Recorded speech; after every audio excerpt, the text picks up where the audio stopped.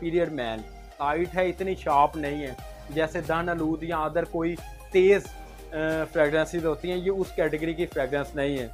ये I think जो perfume type के परफ्यूम कैटेगरी की फ्रेगरेंसेज को पसंद करते हैं, उन्हें ये लाजमी पसंद आएगी।